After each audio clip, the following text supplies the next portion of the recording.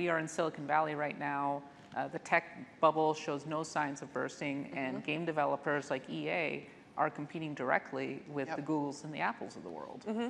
Well, I think the biggest challenge, first and foremost, is going to be the working conditions issue. I mean, this industry, as part of its maturity as an industry, and, and that's one of the things I think the industry needs to own up to, is one of my frustrations is oftentimes this industry, as powerful as it is as an economic force and a cultural force these days, I don't think we always live up to that. You know, I mean, and you can evidence that by some of the ways that, like, even you know, you go to a city, they have a film office to try and attract films to come and, you know, set up and do a production in their, in their city.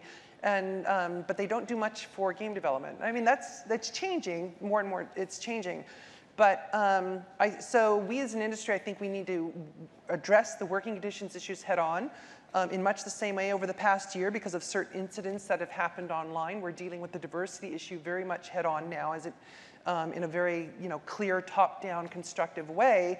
And I think the working conditions one is one that we have to face as an industry and say, you know what, if we want to mature, if we want to retain talent, because those other non-game companies are going to keep sprouting up. And then you've even got competition from things like SpaceX and some of the other um, technical industries out there. I mean, SpaceX shows up with a booth at GDC. Why? Because they're trying to recruit game developers for their projects. So there's a lot of competition. So I think we need to really address some of these issues if we want to keep our talent. All right, Kate Edwards, thank you, and keep raising your sword to defend the industry. I will. I will. Thank you.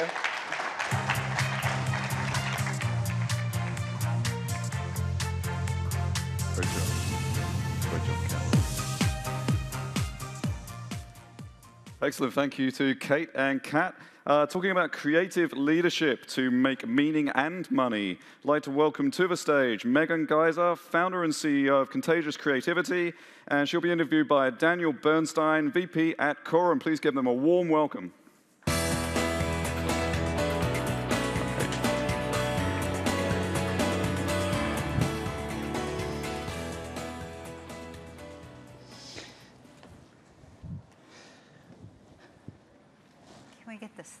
Yep. How about that? How about that? Guys, thanks so much for, uh, for sticking to the end. Uh, we've obviously saved the, the, the, best for last here, right, Megan? Oh, yes. so I wish I dressed up. How do you follow that act? Very, very hard. Very hard to do that. But uh, so now that we actually have the uh, slide about what is creativity, what, you know, let's, let's kind of ask each other what, what we think creativity is from, from, from our pers sure. perspective. So that's a formal definition, but um, a simpler way of putting it is uh, creativity is a skill within us. It's um, a way of being that uses all of our senses to uh, sidestep what's not working to do or make something better. It's our innate way of knowing, innate ability to know. And uh, I love John Cleese's definition, but I would take it one step further and say creativity is our human operating system because it accesses all domains of knowing for good sake. Yeah. What, you, what would you say? Well, I would say, you know, for me, it's, that's, that's, that's perfect. Human operating system. Essentially, uh, um, creativity is imagination that's untethered from any of our uh, assumptions that we have right. about uh, life or, or work or anything that we do. So it's, I think it's an opportunity to be completely, totally, um, you know, certainly in the clouds. And, uh, you know, that, that is the ultimate goal of creativity is to tapping into that potential to build something that is that has substantial meaning. Mm-hmm. That's what we're, we're going to talk about today. So let's let's start with your story, Megan. I mean, you've uh, you know we we've known each other uh, for a while, so I, I, certainly know your story. But why don't you share it with the rest of the group here? Okay.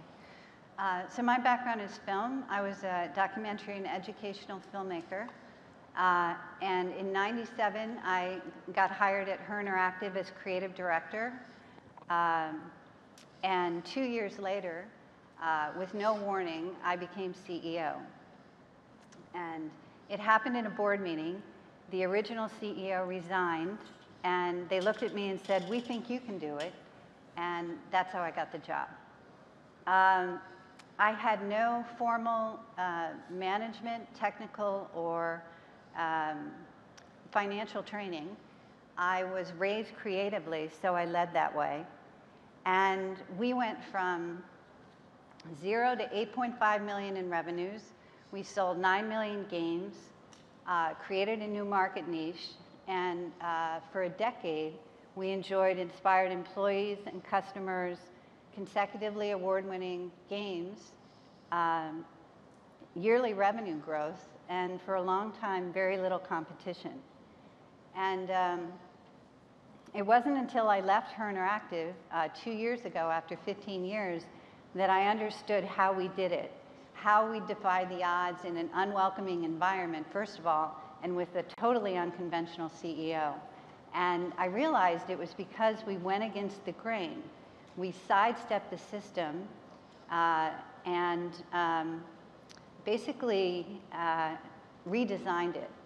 Um, and, uh, you know, it, it, was because we bucked the system. We, um, we took risks, which I think was really important, to do what was necessary for a higher purpose. And we knew it was the right thing to do, and we were determined to make it happen. So let's talk about some of the risks that you took uh, that, that, that made you lead creatively.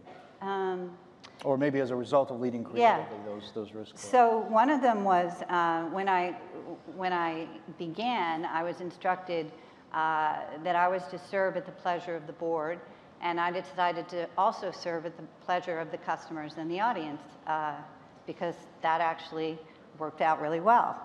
And um, the other was that, you know, the system didn't include us, so we rede redesigned it. Uh, we weren't welcome in retail, so what we did is find somebody to teach us how to publish on Amazon, and we got we backdoored it into retail. So as soon as our sales started taking off, the um, publishers came back and we got a deal in retail.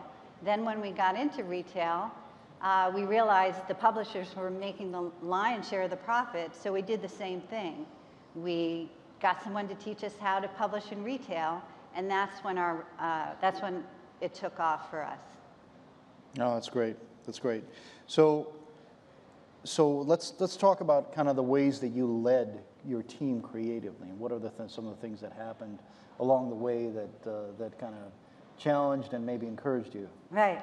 Well, I had a background in film, and it was creative collaboration. So I was uh, more of a co-creator and a collaborator than a decider and an overseer. Um, I hired business people who respected the creative process. Uh, and I led with the values of creativity, which are uh, open-mindedness, uh, curiosity, that first and foremost, uh, kindness, uh, respect for diverse uh, people and perspectives, risk-taking in the face of uncertainty. And I told people what I knew and I didn't know, and no one really needed to know everything uh, because actually that would have uh, ruined the positive flow. And, and it was so palpable uh, that girls who came for tours, which we did very often, they would very often leave and say, I want to work at Her Interactive. No, that's very interesting. So, so you know, as, as we're, you know, we're at a business con uh, conference, so that translates into, into money. Now, you know, how did that uh, apply to Nancy Drew games? What are the, some of the assumptions that were broken as a, as a result of this type of thinking, and, and how did that kind of drive the, you know, drive the opportunity with Nancy Drew? For making meaning? Yeah. Yeah. Um, so we didn't want to make just a fun game. We wanted to make a game that inspired girls to lead, which is consistent with, you know, Nancy Drew, who inspired generations of women. And uh, so we fused entertainment and education in such a fun way they didn't even know they were learning. And we integrated cultural and historical references uh, to uh, expand their imaginations of what was possible and also what had been done. And, um, you know, we also uh, would have girls come for tours regularly and then you know, we'd get like six or seven people to drop what they were doing and have conversations with the girls and to, you know, if she can see it, she can be it. And really, they left a foot taller. I mean, they came in kind of, you know, not really very confident, and they left realizing this is something I could do. And the other great thing was we, over the decade, we got thousands and thousands of testimonials from the girls saying, they were so inspired by the games that they went on to become scientists, cryptologists, detectives. We had a NASA engineer who volunteered to be a moderator. Uh, and it was on and on and on. And that fueled our pride. And we, it made us want to do it over and over again. No, So- no, that's interesting. And we'll talk about meaning. That is the highest meaning of all, when you can inspire somebody and have a life-changing, Right, uh, right. life-changing thing for them. But we, we do, you know, one of the things that happens is that, you know, as, as game developers, we do make a certain set of assumptions about our audiences. Oh, yeah, You know, we certainly do, we certainly did that um, You- back in the you did- dawn of did- casual did you games. yeah, that? yeah, Yeah. of course. Uh, you know, when we thought, okay, well, you know, casual games are all about games like Bejeweled. Uh, Right. But, uh, but I think it takes, uh, it takes a certain amount of bravery to buck that trend. We did that with games like Tradewinds and Westward. And I know, you know, these assumptions that you've, you've encountered, you know, uh, you know, I think you, you've been talking about how, uh, specifically with Nancy Drew. So it'll be curious if you kind of uh, uh, hit those same, uh, same set of, uh, set of assumptions. Yeah, we Yeah. did the same thing. I mean, we assumed that, you know, the target audience was girls 9 through 13, which, you know, growing up, that, that was who usually read the books. And that was true, except actually when we got the, the Nancy Drew license, it was dead. Uh, so we had to actually revitalize it. And what happened is, uh, what surprised us is the mothers bought the games for their daughters to inspire them as they were inspired as kids, and then the moms got hooked on the games. And then they gave the, the games to their moms, and so it became a cross-generational ph- phenomenon. Uh, and, you know, we had an audience we didn't even expect. So, you know, it really um, made us realize that, you know, the games were challenging enough for a wide range and entertaining. So, yeah, we, we, that was a big surprise for us. Yeah. No, uh, and I think assumptive thinking leads to Ah, that's exactly yeah right. leads to that kind of the feeling of uh, okay, well, it's it's the same old, same old.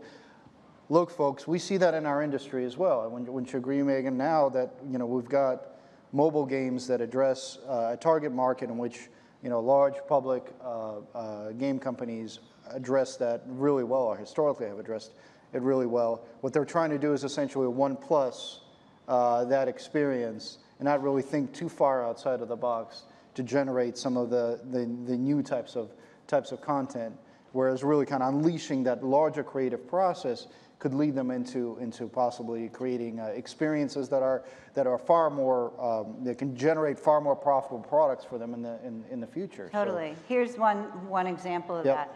When we um, were making games for girls, uh, we were advised if you're going to make games for girls, make them pink and they'll all come. Uh, we made them unpink and they all came.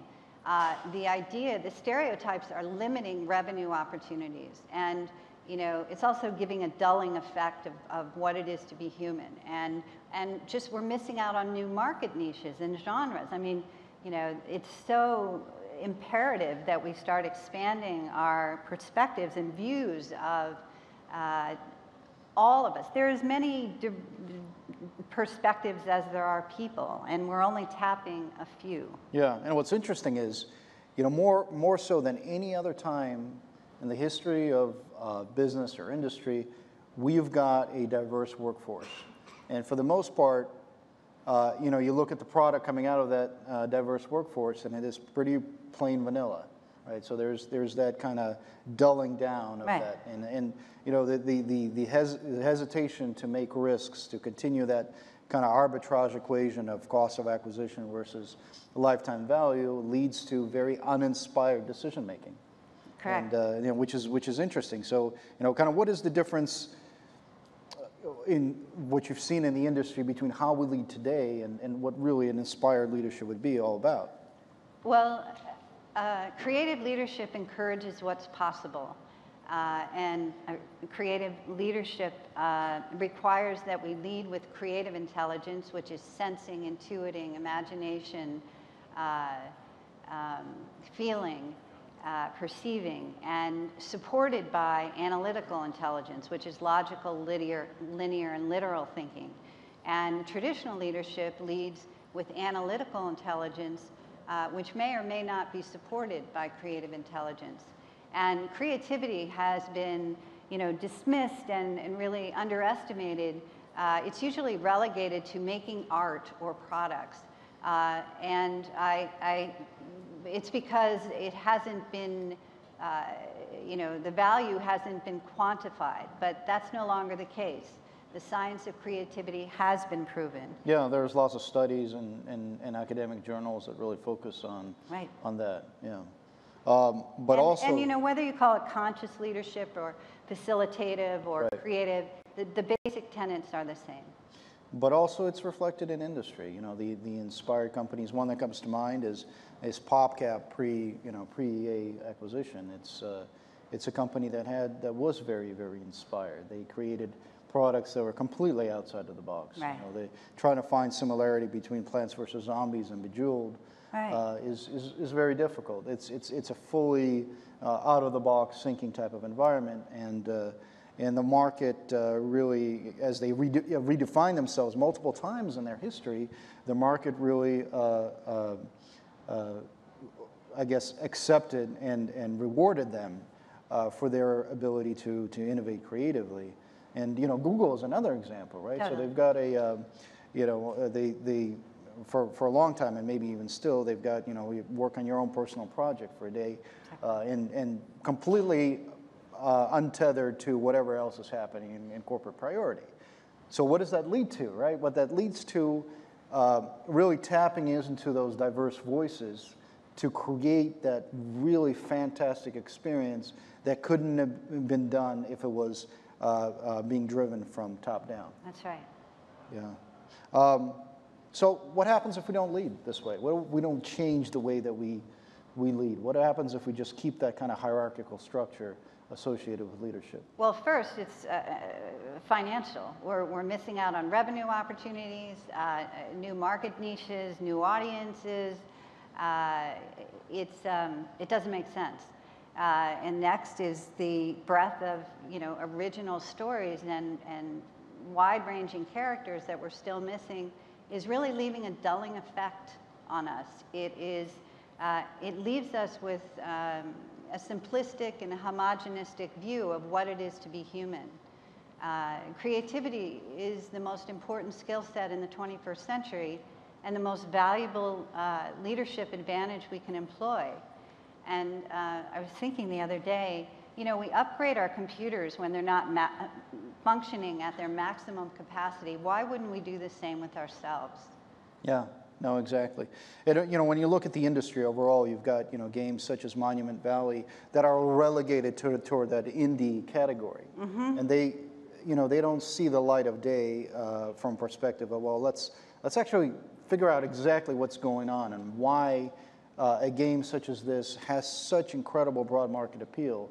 Uh, and so what happens is I think a lot of the, the indie games are being denigrated um, and being just labeled, okay, they're just they're just indies, they're one-offs, they're never going to, you know, that that's not a model that's sustainable, that's never going to work. We're going to focus on the things that we've done before, and that leads to that kind of dulling, uh, chasing that uh, what we call in the investment business that red ocean effect that you have right now in the games industry. That's right.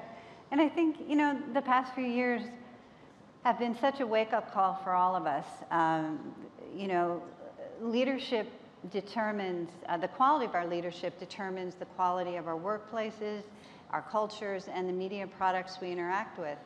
Uh, and, uh, you know, I think it's time to do things differently. Um, leadership is behavior, and people need to be inspired, not managed. Because inspiration uh, is what brings us meaning through our deepest values. And, you know, that gives us the meaningful purpose to innovate for good sake.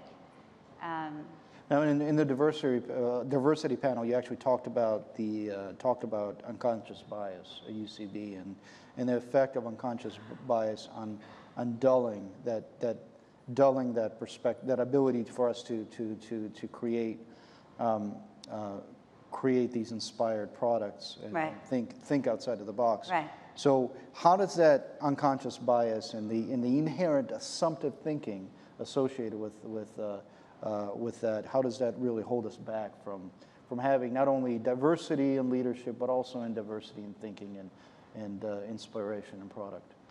Um, It's a big question. Yeah, okay. Before I say that, I just wanted to say one thing. I, I really predict that those companies who do not invest in creative leadership in the next five years will lose market share to those who do. Yeah. And it's linked to unconscious bias because leading with the values of creativity uh, diminishes the unconscious bias. It dissolves the fear and it makes us more self-aware, which is the first step in actually embodying our full human potential and leading with our best selves. And then once we're inspired, we inspire others because behavior is contagious. So getting to unconscious bias, unconscious bias is a, is a, is a blind spot. It's a bad habit we all have. And it prevents us from uh, letting go of our perceived notions to uh, expand our imaginations, to welcome diverse people and perspectives. And, uh, and because it's unconscious, we often don't realize we have it. And what's worse, uh, we think we're right. And, uh, and so it requires uh, raising our awareness to positively shift our behavior. Um, mindfulness techniques are a first step uh, to make that perceptual and experiential shift. And, um, you know, when we are fully present, uh, we connect with rather than uh, have bias towards others. Uh, in other words, we inspire ourselves so we can inspire others. So there, you know, right now there are great starts at eradicating unconscious bias, but I don't think they are it. I think some of them are band-aids, like quotas, you know, or, band, or um, taking an unconscious bias course. Now, that's, um, a, they're great steps, but that's more informational. It has to be, you know, on a daily basis, and it has to be intentional that we're thinking about our thoughts so we can start to change them so our behavior is different. And then we can welcome diverse content, diverse leaders, diverse thinkers, and then all of us will be collaborating together. And I think our time is up. Yeah. Thank you, folks. Thank you. Thank you, Megan. Okay, left hand. Thank you. I got it Great right. job, great job. Excellent. Thank you to Megan and Daniel. Uh, so for our last session of the day, uh, talking about VR games, how the next platform will deepen the relationship between Hollywood and gaming. It is my absolute pleasure to bring on the stage Peter Levin, President of Interactive Ventures and Games at Lionsgate, and he'll be interviewed by Ian Sherr, Executive Editor at CNET, who believes that this is saving the best till last. Please welcome them to the stage. Thank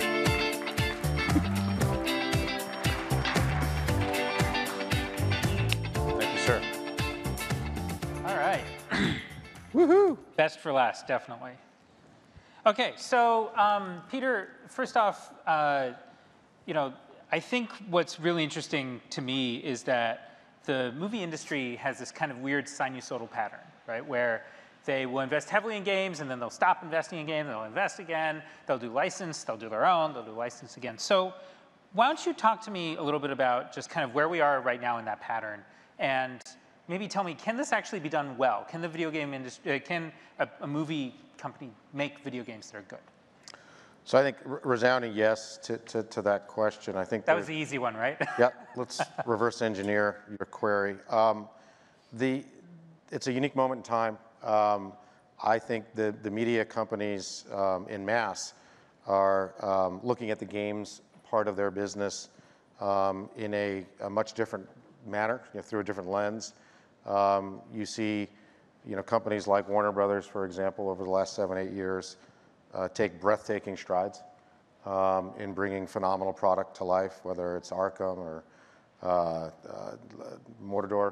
Um, what they've been able to do with the Lego properties, uh, coupled to their own intellectual property, um, it's, it's again, it's definitely a left of center um, direction, you know, versus where big media was a decade ago. Um, I think the fundamental driver there is that the economics can no longer be ignored. So you're Meaning no- that video games are such a large industry now, you have to do it. That's right. I mean, I think the interactive business at Warner Brothers drove something like 1.5 billion dollars of revenue, um, in, the last year, so you know that's nothing to, to sneeze at. I wouldn't mind having that. I wouldn't mind having that either. Um, but the, the, the other dynamics that are, that are happening, you know, with the state of the games business, um, you've got um, the type of engagement you haven't seen before. Um, and whether that's free to play, mobile, social tablet, uh, whether that's DLC, um, whether that's, and I don't even want to call them licensed properties, but I think partnering between intellectual property um, and uh, game mechanics um, that are creating sustainable long-term product uh, that lives on multiple platforms in multiple environments. That just did not exist before. So the model that used to exist was, you know, very short shelf life, right? You know, six to eight weeks, shrink wrap, trucked, you know, through a, a holiday cycle, and then you're in, you're out. And if, if you're moving units, you can sustain life, and if not, on to the next one. And now you've got titles that are living for years. Um, and they're not only uh, driving um, revenue, but they're creating a very unique conduit of engagement uh, with those audiences of those intellectual properties. Um, and that, that we have not seen before. So um, I think across the board, you're seeing a very healthy appetite and some different approaches from different media companies uh, to how they're treating this business, but they're now looking at it very much as a business, not just an extension of their licensing and merchandising exercise. Which is interesting. So, how do you avoid the kind of boom and bust that tends to happen for a company that is working outside of its core competency? Because we see that, right? Where a company will have some real success with something, and then they'll kind of maybe not have as much success, and okay, pull back, right? And it turns into this weird boom and bust cycle. Um, it, you know, I wouldn't say that it's not in their core competency because what it is, it's just a, it's telling stories in another medium. Okay. So I, I, that is their core competency, and they are we are a hits-driven industry at our core. We are a you know Lionsgate probably as much, if not you know more more than most. You know we are a content company, full stop. Um, that's both exciting and at, you know at times um, it you know it, it can be daunting Right. um, because you're adapting intellectual property in different mediums. So, you know, what we're looking for um, in terms of the adaptation of our intellectual property in, in the realm of gaming um, is the same passion, uh, the same dedication, the same vision that we look for when we look for a showrunner in television, right? Um, with shows that we put on the air like Mad Men and Orange is the New Black, and the same way we look for writers, producers, directors of our theatrical product, you know, Hunger Games and Twilight and Divergent, um, upcoming Power Rangers. So um, we're now considering it, you know, as contemplatively, albeit it's a nascent part of our business. Right. But I don't think there's any less discipline applied to finding those partners and how we deploy against it. Makes sense. So, how does VR change the dynamic here? Uh, um, right now, most of the noise that's made in VR is around video games, right? I hear, I'm sure there's some people in the audience who are like, no, there's still video in movies. But maybe you can talk to me a little bit about how you guys are looking at this and how you're thinking it through. Yes, I mean, several different ways. So, um, like every new medium and environment, um, you know, marketing and promotion is driving a lot of the early traction. Right. And that's very okay because how better to raise awareness for an emerging platform than to couple that experience to ginormous intellectual properties, right? You know, who wouldn't want a Hunger Games VR experience, you know, the likes of which we just executed against our marketing team did in, in New York in partnership with Samsung, you know, to uh, a lot of, uh, uh, I think, well-deserved praise for that group. Um, so uh, it creates that lift. It's a kind of a rising tide. Um, but the, you know, some of the, the very discrete games products that, you know, we're developing, um, we have a John Wick first-person shooter a game coming out uh, first, second quarter next year in partnership with Grab Games uh, and Starbreeze and Weaver. Um, but the interesting thing there, it, at its core, and, and you'll understand this when the hardware ships, it is both an experience and a game. And that game mechanic and understanding that game mechanic is very much predicated on the consumption of that experience. So I think you know VR is giving us this wonderful hybrid opportunity, this, this palette to play with. Um, ill-defined boundaries right now. Um, you know, some of the stuff that, that we're seeing coming out of Valve, uh, nothing short of brilliant. Um, you know, you have to rip that headset, you know, off your head. Um, and sure, there's gaming mechanics to it and there's an underlying gaming narrative, but I would argue that the experience itself is both commercial. Um, I think those are going to be episodic content that's derivative um, of both existing IPs and there'll be original intellectual properties that are adapted within the environment. So, yeah, I think some of the, the early excitement is from the games audience. Perhaps much of that is due to the fact that, you know, Valve and Steam with 125 million plus gamers, there's a lot of context for gaming. You know, Morpheus and PlayStation 4, there's a lot of context for gaming. Um, you know, with those two platforms, you know you have the computation power to drive a qualitative VR experience. You know, perhaps less so with some of the other hardware, um, but we're figuring it all out. I think it's one of those unique moments in time where it's so much more about the steak and not the sizzle, right? So everyone who's played with it is just overwhelmed, um, and some of it's got a ways to go. But I think everyone, you know, everyone I know that's put it on is is wowed. Um, and so I think I give the hardware folks a lot of credit for not shipping prematurely. Let's wait till we get it right. You know, this is worth waiting for. Yeah. Um, Although the first hardware is launching in November. This is true. Yeah. But again, there's been, you know, some of these deadlines have been pushed, and you know, interestingly, you don't get a lot of um, negative blowback because I think you know people are feeling like this is a real thing, not you know, again, not smoke and mirrors, not a marketing exercise. Right. Well, that's the that's what's interesting to me right now is that a lot of the at least the way Hollywood is approaching VR is around marketing, right? That it seems as though finding ways to take your IP and apply it to VR is still something that's very experimental at this stage. And so the best thing to do is just create experiences. You know, I, I, I would argue that I think, you know, again, Jaunt recently raised, you know, um, uh, some capital from, you know, established industry players like Disney. Sure. Um, and I can tell you, you know, my, my peers over there are not just looking at that as, oh, this is a great way for us to promote and market our intellectual property. There will be a degree of that. But demonstrate to me a successful medium where commercial product did not live alongside promotion and marketing. You go to a film, you're going to see trailers. You're going to see commercials when you get to the theater. You watch television, you're going to see commercials. You're going to see integrated marketing. So I think that's actually a sign of a, of a healthy platform emerging where there's going to be the coexistence of marketing and promotion right alongside commercial product.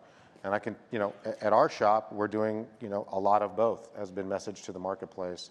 Uh, we're taking it very seriously on the commercial side, but working hand in hand with our, our marketing brethren, um, because again, that is a very, um, you know, l- low cost, if you will, way to raise awareness because people are so trained on some of these massive IPs, you know, Divergent and Hunger Games.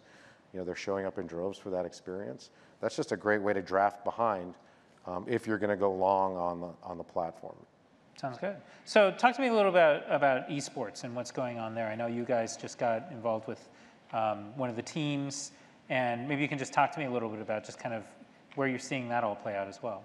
Uh, seeing it play out um, everywhere, right? So, you know, you've got everything from ESPN jumping into the deep end of the pool, uh, BBC recently announcing that, you know, they're going to stream Dota 2 championships, um, um, or they're going to air them rather than they're not going to stream them. They'll be on their, their proper. Airing and streaming, they're roughly. Well, there, I'd beg to differ, but uh, these days, cutting the cord, um, there's the, um, th- the ability to sell out these venues now domestically um, on par with, with how quickly these venues are selling out internationally. Yeah. It's taken a lot of folks by surprise. Um, the quality of brands and marketing partners um, that are jumping um, headlong into the esports arena. You know, there, if you think about it, there are very few sports um, that travel globally, right? So you've got soccer or football. Um, you have martial arts, you know, mixed martial arts, and, and depending on, you know, where you are geographically, uh, they could be termed something else. And esports is one of them. Um, you know, American football does not travel globally. Uh, baseball does not travel globally. Hockey does not travel globally. Um, it is one of those things where you feel that, you know, that upsurge. And again, I, I'm dating myself here, but as an early investor in GameSpy Industries, um, way back in, in 99, 2000, we toyed around with some live streaming of some competitive gaming. And back then, bandwidth was not a commodity. Absolutely. So every time we put on one of these events, we lost a ton of money. But it was exciting to see the activity around it. And so you knew someone was going to build a better mousetrap, and clearly, you know, these folks um, are out there bu- building better mousetraps. And there's a unique fraternal nature to esports right now. So, you know, yes, several of us did invest in a, in a franchise, but um, with a lot of support from the community. Again, it's one of those kind of rising tide. Um, let's get some folks in there that have backgrounds in sport, in media, in technology, working with marketing partners, um, you know, how to maximize those relationships. Um, we're, we're definitely seeing it come up conversationally uh, a lot. So when, when, when do I say the moment that esports has arrived? Like, does it take an Olympics to happen, like where it gets blessed by a major sporting venue? Or what does it take? It depends on your orientation. I would say it's clearly, you know, has arrived. Um, I, you know, someone like myself who can operate a bit from both sides of my brain, you know, when ESPN jumped in, you know, that was that was a major thing, um, and the numbers uh, were quite impressive. Um, but I, I feel that you know the the, the amount of energy that is spent, um, you know, online, on, within social environments, um, within conferences such as this. You know, last year it was all VR. You could not escape the VR subject line. Um, you know, this year it's very difficult to dodge, you know, the esports bullet, if you will. and that's for those of us that have jumped into the deep end of the pool. That's a very exciting thing. Yeah, definitely. So um, I guess we've got a little time if you want to ask questions from the audience, or is there anyone out there who's interested in anybody at all? Quiet You guys just all want to get up to the bar and get your post-conference cocktails going. You've got a Highwood man here. Game speed. Okay, so um, no one, oh, we finally have one. Okay. So I want to do Nicole Lazzaro from XEODesign, Zio Play. Uh, I'm really fascinated with the evolution of VR and uh, as, as a media. And how do you, how long do you think it's going to be uh, until like uh, VR experiences will be uh, truly like feel very different than movies? Right now, we still a lot of the stuff is I'm you know kind of like you remember the early days of cinema where they put the camera in the best seat in the house and you kind of could look around. They just filmed stage plays, and then someone invented okay, we've got frame for attention and we can cut to compress time. There'll be new stuff with VR, new kind of techniques, new language of VR. How long do you think, and what might that look or feel like? Well, I can, I can tell you, um, you know, we have a large library of content at Lionsgate, 16,000 plus titles. Um, we have hundreds, if not thousands, of horror titles within that library, including Saw. So if you can think of a Saw-themed VR experience, I'd rather not. right? I, I, there's nothing that terrifies me more than that conceit.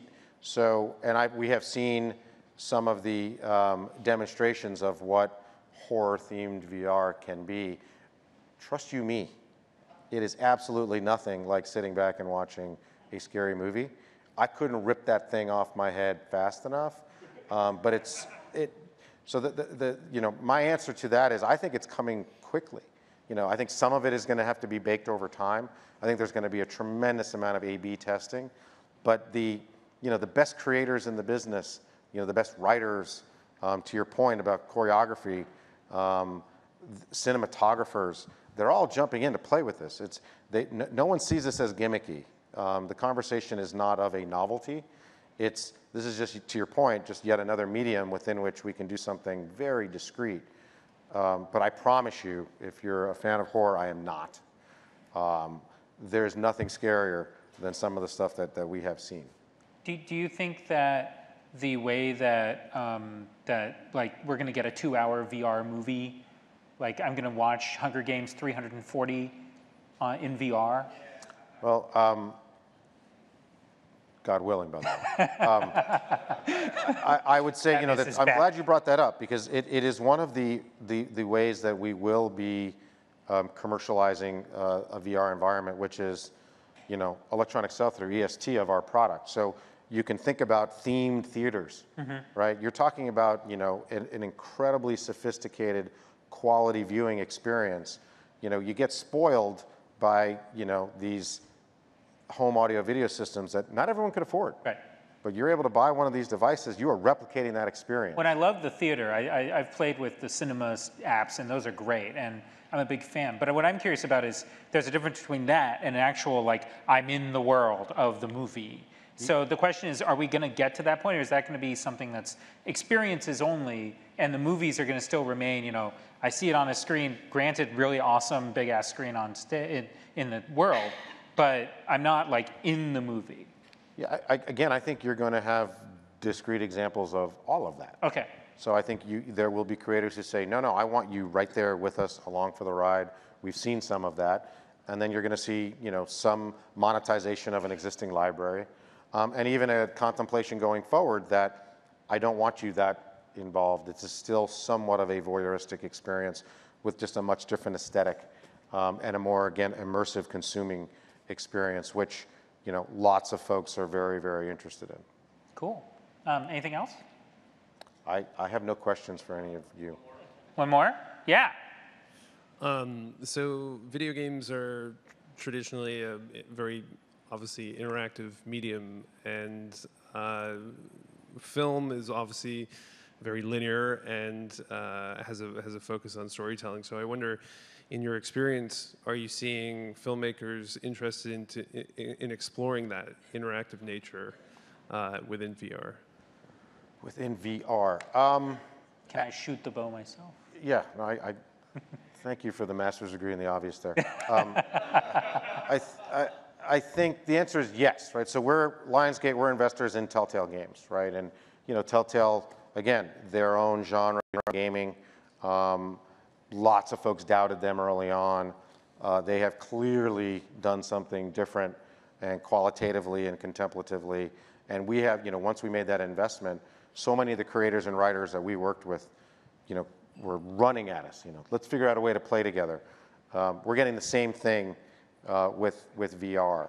Um, there's a lot of, you know, spending a lot of time with these types of folks. Similarly, you know, with game creators, um, there's a learning curve, and they tend to really want to uh, get granular. Um, so I think you're going to see more and more of established filmmakers um, jumping into the medium to play with it. Haven't seen this kind of frothiness, excitement from the creative community about something in a while, um, which again is, is nothing but very exciting.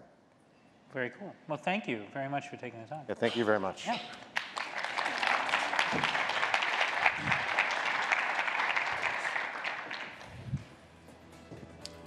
Grabbed my water bottle. I did everything I said. Excellent. Thank you to Peter and Ian.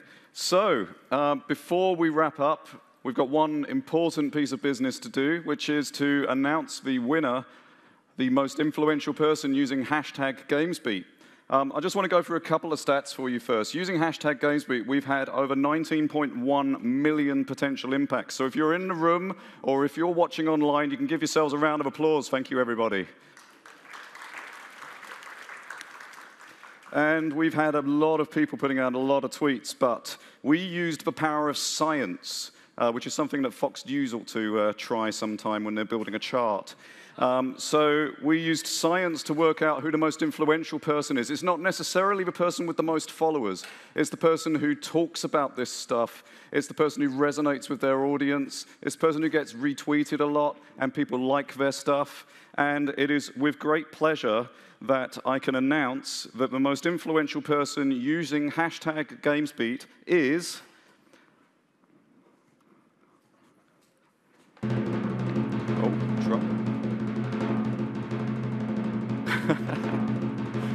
Long drum roll. Put up the slide. It's Amber Osborne, Miss Destructo. Big round of applause for Amber Osborne. Congratulations to Amber. Uh, thank you to everybody who took part in tweeting using hashtag GamesBeat. It's been fantastic. Now it gives me an incredible pleasure to bring on stage to finish up the incredible, the legendary Dean Takahashi. Please give him a warm welcome.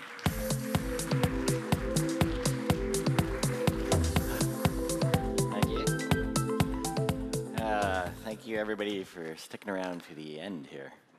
Uh, I'm going to skip the closing marks uh, for a bit and uh, go straight to our slide on our upcoming events. Uh, we have two GamesBeat events coming up in 2016. Uh, GamesBeat Summit will be held at Cavallo Point in uh, Sausalito, May 3rd and 4th. GamesBeat uh, 2016 will be held, held here at the Grand Hyatt, September 19th and 20th. Uh, and don't forget, you will all get a free uh, mobile user acquisition uh, report for being an attendee. Uh, you can pick up a card at the registration desk with a link to the report. And um, our surveys uh, around the ballroom, you're going to find event surveys. Uh, please help us improve the event by filling them out and uh, leaving them at your seat. We will also be sending out surveys in our follow-up email. We would really appreciate it if you could take the time, to fill, out, fill it out, and give us some feedback on the event. We definitely look at them. And uh, as I'm sure many of you saw out in the uh, exhibit area, TrialPay has been hosting a game zone uh, out in the lobby for indie developers to showcase their up and coming games. Six developers were chosen for their innovation and creativity out of an extensive pool of applicants to demo their games uh, to our conference attendees and keep us entertained over the last two days. Uh, the winning developer to receive up to $20,000 in TrialPay's monetization and acquisition services. I am pleased to announce uh, is, uh, are you guys ready? Who's ready? Is everybody here from the event too? Cloudcade Shop Heroes. Congratulations. Uh, not sure where they are, but go get your 20,000 bucks worth of stuff. All right, big thanks to all of our GamesBeat partners. Um, thank you to our partners. And thanks also to our event partners and our uh, media and strategic partners. And thank you all in the audience here for uh, sticking it out uh, to the, the end. Um, you're all honorary members of the GamesBeat Night's Watch, uh, which is our, our little community of people who love the games business.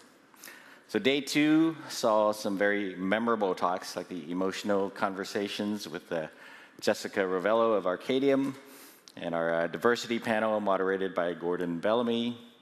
Uh, we saw information pack talks uh, by Nicole Lazzaro, uh, on designing for VR on GamesBeat Online, and Kate Edwards uh, and her windows into uh, working at Valve, maybe, or into game developer satisfaction. Kate, of course, was the only one to get the memo to dress up like a, a Game of Thrones character, besides myself. I'm uh, thinking next year we have to make the dressing up mandatory for every single speaker and they have to dress up like a character in their games, right? So we started planning six months ago, and it's uh, very fulfilling to see these talks come to fruition uh, as executed by great speakers and moderators.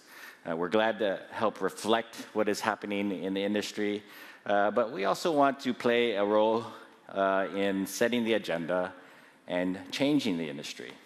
Uh, as Megan Gaiser said, this is where uh, we, we use all of our senses uh, to be creative. And uh, our organization, GamesBeat, uh, definitely tries to not have any blind spots here. Uh, there are many messages of change here. Uh, we hope you take them to heart and help them spread to the right places in gaming.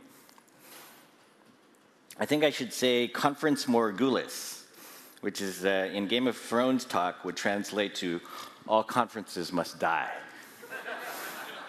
Uh, but in this case, uh, GamesBeat 2015 will live on in some way in video form on our Twitch channel, uh, twitch.tv slash GamesBeat, uh, and in the stories that have been followed by our excellent GamesBeat staff.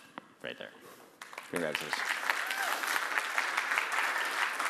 And I'd like to once again thank our VentureBeat staff like Brianna Billingham, Katie Donnell, Amy Hall, Megan Pulver, Katie Jensen, Karen Williams, Stacy Cohen, Matt Kotler, the rest of our great sales team, our AV and production uh, partner, Evergreen Creative, uh, and our volunteers.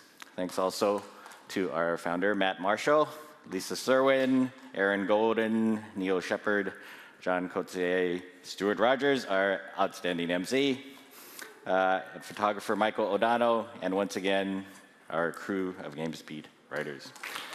So, you're done. Thank you. Uh, we're going to have a reception up on the 36th floor uh, to toast goodbye to GamesBeat. Thank you.